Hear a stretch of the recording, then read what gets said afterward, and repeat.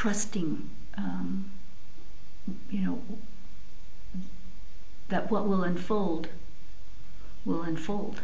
Just and and and uh, relaxing in that or breathing into that as um, rather than something I have to fix or make happen.